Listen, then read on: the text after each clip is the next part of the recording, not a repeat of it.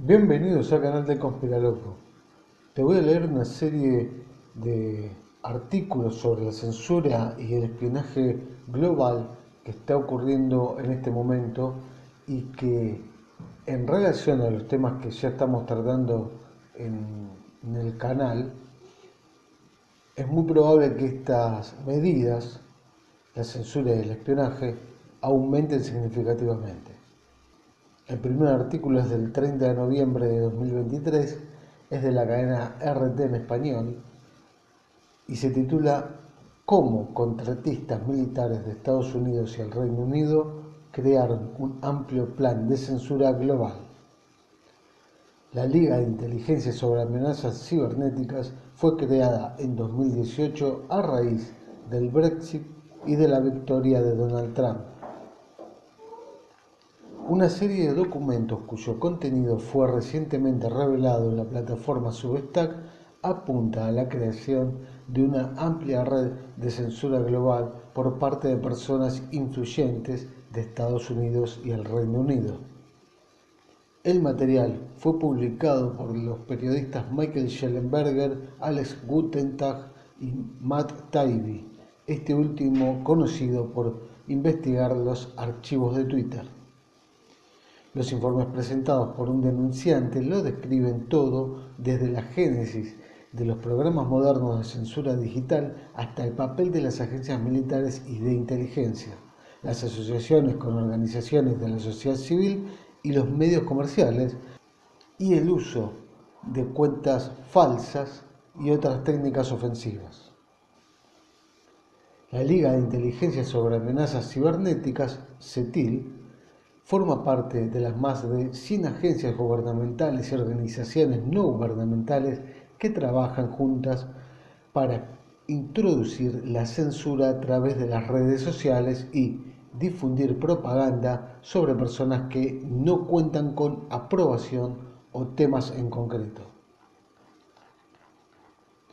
El enfoque del CETIL hacia la desinformación fue mucho más allá de la censura. Los documentos demuestran que el grupo participó en operaciones ofensivas para influir en la opinión pública, discutiendo formas de promover contramensajes, apropiarse de hashtags, diluir mensajes desfavorables, crear cuentas de títeres e infiltrarse en grupos privados de, que requieren invitación. Aunque algunos testigos afirman que el organismo estaba formado por personas ajenas al poder, los documentos sugieren que empleados del gobierno han precisamente sido miembros comprometidos del CETIL. Una persona que trabajó para el Departamento de Seguridad Nacional, Justin Frappier, fue extremadamente activa en el CETIL, participó en reuniones periodísticas y dirigió capacitaciones. De acuerdo con el denunciante, el objetivo del CETIL era pasar a formar parte del gobierno. En nuestras reuniones semanales dejaron claro que estaba construyendo estas organizaciones dentro del gobierno federal, indicó. Su asociación con la CISA demuestra que esa meta finalmente se logró. Se trata realmente de un intercambio de información, dijo en abril de 2020 Chris Krebs, entonces director de la CISA. Y el otro artículo que tengo para leerte se llama Espionaje Global y es de la plataforma globalización.ca, una eh, organización de periodismo internacional eh, con sede en, en Canadá. El título del artículo es Espionaje Global, lo escribió Jorge Elbaum y es del 25 de noviembre de 2023. El próximo 31 de septiembre vence el plazo para renovar, modificar o anular la denominada sección 702 de la Ley de Vigilancia de Inteligencia Extranjera, FISA. La normativa aprobada por el Congreso de Estados Unidos en 2018 que autoriza a realizar espionaje sobre todas las comunicaciones por correo electrónico, telefónicas y virtuales que son gestionadas por las grandes empresas radicadas en Estados Unidos como Google, Meta, Apple, Microsoft, Amazon y Tesla, entre otras. La creciente globalización de la comunicación permite a Washington el control de una gran cantidad de centros de poder militar, empresarios y políticos a nivel global. El programa autoriza a las agencias de seguridad estadounidense a interceptar, recopilar y almacenar, sin orden judicial alguna, toda información, geolocalización e imagen almacenadas por empresas estadounidenses. La sección 702 se instituyó para luchar contra el terrorismo, pero bajo ese justificativo se interfirieron las comunicaciones de las empresas Petrobras, que se resistía a privatizar las áreas hidrocarburíferas, y las interacciones telefónicas de las jefas de gobierno Dilma Rousseff y Angela Merkel. Las extensiones y las características de la FISA se hicieron públicas en el marco de la filtración realizada por el contratista Edward Snowden en 2013, cuando divulgó cientos de miles de informes almacenados, intervenidos y analizados por la Agencia de Seguridad Nacional.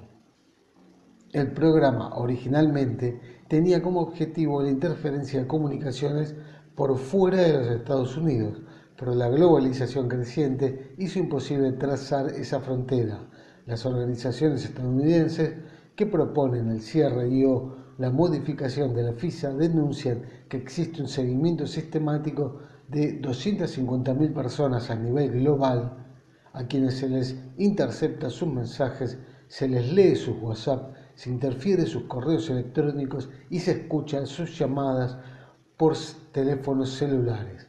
Además, se geolocaliza sus ubicaciones y se mapea sus consumos de compra, sus datos financieros, sus historiales de salud y sus búsquedas dentro de la web. Estos seguimientos se llevan a cabo con la cooperación obligada de las empresas de telecomunicaciones estadounidenses o de aquellas que cotizan en las bolsas de Wall Street. Además de los seguimientos específicos que se presumen dirigidos a dirigentes políticos, empresarios, militares o de inteligencia, las tareas avaladas por la FISE incluyen millones de comunicaciones recopiladas con la catalogación de incidentales en las que se investigan datos claves respecto a terceras personas. Esa particularidad habilita a recabar información sobre las opiniones y los posicionamientos ideológicos y políticos orientados a imponer modelos algorítmicos de control de influencia poblacional. La Junta de Supervisión de la Privacidad y las Libertades Civiles, entidad federal estadounidense que evalúa las consecuencias de la ley FISA, ha advertido que la misma debe ser modificada debido a las sistemáticas recopilaciones inadvertidas, eufemismo con el que se esconde el relevamiento intrusivo que tiene como objetivo y como víctimas no solo al resto del mundo, sino también a los propios ciudadanos de Estados Unidos. Por si no te quedaba claro de lo que está pasando en el mundo y por si no tenés una muy buena excusa para convertirte en un conspiraloco, acá tenés varias muestras. Muchas gracias por ver este video y por compartirlo.